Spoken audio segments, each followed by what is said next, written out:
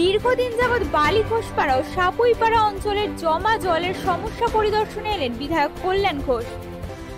দীর্ঘদিন ধরে বৃষ্টির জল জমে জলমগ্ন থাকতো বালি ঘোষপাড়া সহ বেলুর সাপুইপাড়া বিস্তীর্ণ এলাকা। এই জমা জলের জন্য এলাকার বহু মানুষ বিপদের সম্মুখীন হয়েছেন এছাড়াও বাড়িতে জল ঢুকে গিয়ে আসবাবপত্র সহ বিভিন্ন বস্তু ক্ষতিগ্রস্ত হয়েছে।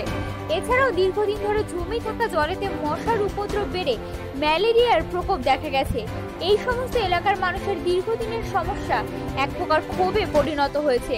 ডোমজুর কেন্দ্রের বিধায়ক মাননীয় কল্যাণ ঘোষ মহাশয় হঠাৎ করে বেলুর সাপুইপাড়া এবং বালি ঘোষপাড়া জলমগ্ন এলাকাগুলিতে পরিদর্শন করতে যান। এলাকাগুলির বেশিরভাগ বাড়ি জলমগ্ন। বিধায়ককে দেখে সাধারণ মানুষ, আগের বিধায়ক অর্থাৎ রাজীব ব্যানার্জির নামে নানান অভিযোগ সামনে আনেন। মাননীয় বিধায়ক এই দিন তিনি তার ব্যক্তিগত গাড়ি ছেড়ে মোটর বাইকে চেপে জলমগ্ন এলাকাগুলি পরিদর্শন করেন। সাধারণ মানুষের সমস্ত সমস্যা অভিযোগ তিনি মনোযোগ সহকারে শোনেন। এবং আশ্বাস দেন যত দ্রুত সম্ভব তিনি সমস্যা সমাধানের চেষ্টা করবেন। করে এই বালি ঘোষপাড়া অঞ্চলে জল জমে থাকা অবস্থাতে মানুষ কিন্তু বিত সন্তুষ্ট রয়েছেন এবং অনেকের অভিযোগ ছিল যে এলাকায় জল কিন্তু নিকাশি ব্যবস্থা ঠিক মতন নেই এবং সাধারণ মানুষ এই নিয়ে কিন্তু অনেক দিন ধরে এটা নিয়ে একটা বাজে অবস্থার মধ্যে দিয়ে রয়েছে। কারণ এই জমা জল থেকে মশা, লার্ভা এখানে জন্মাচ্ছে এবং এটা থেকে ম্যালেরিয়া ছড়ানোর একটা প্রবণতা দেখা যাচ্ছে। সেই জায়গায় দাঁড়িয়ে বিগত দিনের বিধায়ক কিছু কম ব্যবস্থা করেননি। আজকে আপনি নিজে স্বইচ্ছায় পরিদর্শন করতে এলেন এবং মানুষের কাছে কি অভিযোগ পেলেন এবং কি বুঝলেন? আগামী দিনে কি করবেন ব্যবস্থা? দেখুন সাপুইপাড়া অঞ্চলটা প্রাকৃতিক নিয়মে একটা চাটুর মতো। এর পাশাপাশি যে অঞ্চলগুলো আছে, সেই অঞ্চলের জলগুলো এই সাপুইপাড়ার মধ্যে চলে আসে। চাটুতে যেমন কোনো কিছু জল যদি দেওয়া হয়, মাঝখানটা হচ্ছে সাপুইপাড়া। চাটুর সাইডগুলো হচ্ছে অন্যান্য অঞ্চলগুলো। স্বাভাবিকভাবেই একটু জল হলেই সাপুইপাড়ায় জল জমে যায়। সাপুইপাড়ায় ড্রেনের অনেক, অনেকগুলো ড্রেন হয়েছে। কিন্তু ড্রেনের জল বেরোবার জায়গাটা নেই। এই আউটলেটটা আমাদের করতে হবে। আমি নিজে এলাকার মানুষের কাছে গেলাম, তাদের বাড়িতে জল ঢুকেছে, রাস্তায় জল জমে আছে। সত্যি মানুষের দুর্দশা হচ্ছে। এত বছর কষ্ট করেছে। আমার দিক থেকে আমি বলতে পারি আমি সাপুইপাড়া এবং চকপাড়ার মাঝখান দিয়ে যে অংশটা আছে, সেখানে যদি আমরা এখানকার আউটলেটটাকে বার করতে পারি, তাহলে আগামী দিন পারমানেন্টলি এই সমস্যাটা সমাধান হয়ে যাবে বলে আমার মনে হয়। এছাড়া এখনই যে সমস্যাটা আছে, সেই সমস্যার জন্য আমরা ইরিগেশন দপ্তর থেকে বিভিন্ন পয়েন্টে আমরা পাম্প বসিয়েছি।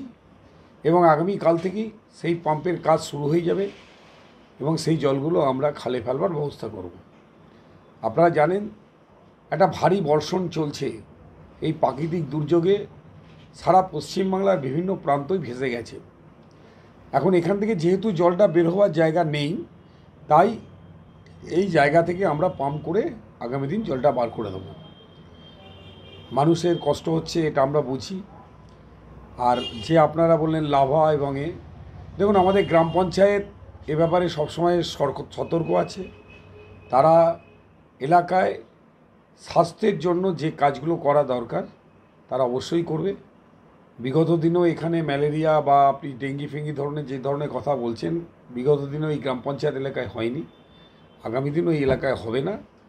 আমরা সেদিকে সদ মানে সবসময় সতর্ক আছি। কিন্তু মানুষ কেন অভিযোগ করছে যে এখানে ঠিকমতো স্বাস্থ্য ব্যবস্থার জন্য এখানে যে কীটনাশক পদার্থ ছেটানো, সেটাও কিন্তু ঠিক মতন হয়নি। সেই ব্যাপারে কতটা দেখছেন আপনি? দেখুন, এখন দু একটা, এখন পঞ্চায়েতের যে সামর্থ্য, সেই সামর্থ্য অনুযায়ী তারা দিচ্ছে।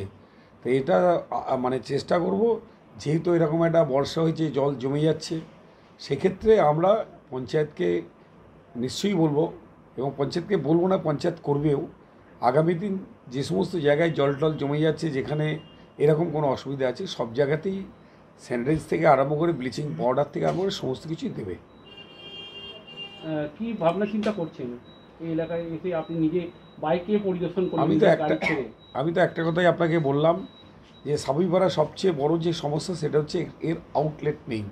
এই আউটলেট এই আউটলেটটা বার করবার জন্য আমাদের চকপাড়া অঞ্চল থেকে আমাদের সাপুইপাড়া এবং চকপাড়ার বর্ডার দিয়ে এসে খালে যাওয়ার জন্য যে জায়গাটা আছে আমি ইঞ্জিনিয়ারদেরকে নিয়ে এসে সেই জায়গাটা দেখিয়ে আমাদের দপ্তরে গিয়ে সেটাকে পাস করিয়ে আগামী দিন যাতে এই এলাকার মানুষের সমস্যা না থাকে সেটা চেষ্টা করব। মানুষ কতটা খুশি হলো? আপনি আজকে স্বইচ্ছে এখানে তাদের দেখুন খুশি অখুশির ব্যাপার নেই।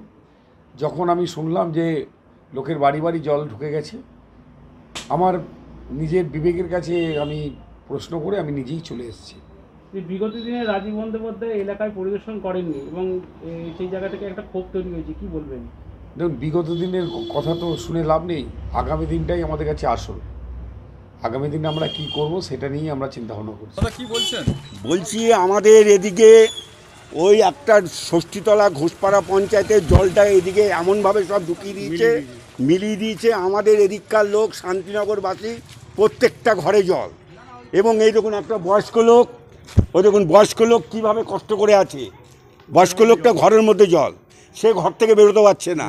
আজকে এইভাবে অবস্থা তার মধ্যে আমাদের ড্রেনটা যাওয়া আগে ভালো ছিল।